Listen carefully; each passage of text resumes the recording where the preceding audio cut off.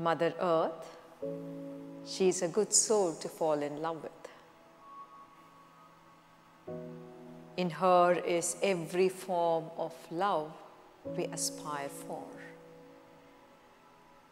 a friend, a beloved, and a parent.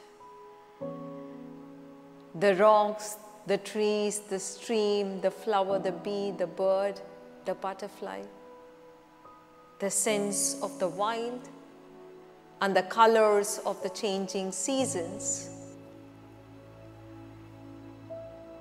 The spirit of our great earth courses through all of them.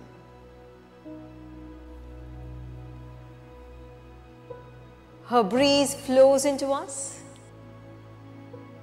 as our breath. Her waters are our blood and tears. Her soil, our flesh and bones. Her fruit and grains, our radiant skin.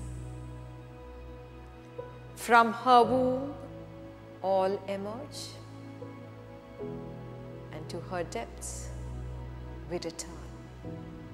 In her we are one, the kings and beggars, the black, yellow, white, and brown, like various flowers that fall from the trees. She is Dhara, she is Pachamama, she is Gaia. Love her and let her be.